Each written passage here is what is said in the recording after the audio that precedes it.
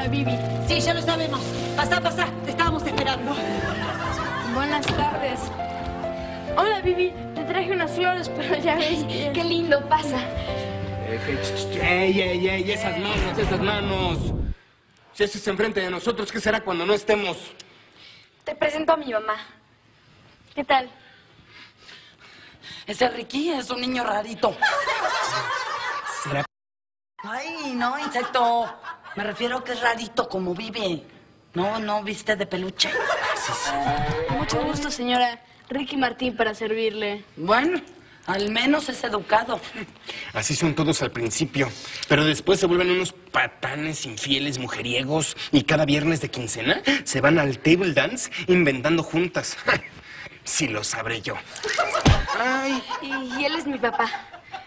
Es un gusto conocerlo, señor.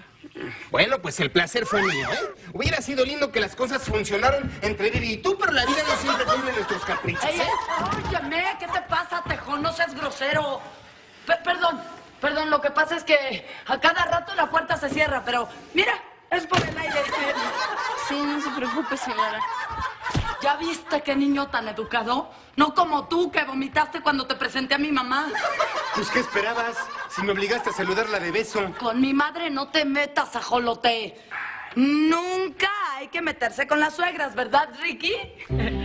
Bueno, es que pelear no lleva a nada.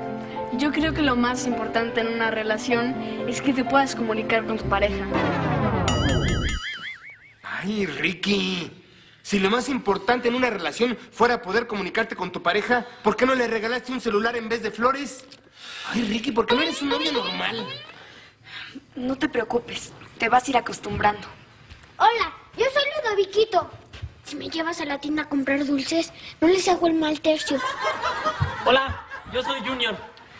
Si también me llevas por dulces, no los espío cuando se estén besando sus bocas. Qué agradables hermanitos tienes, Vivi.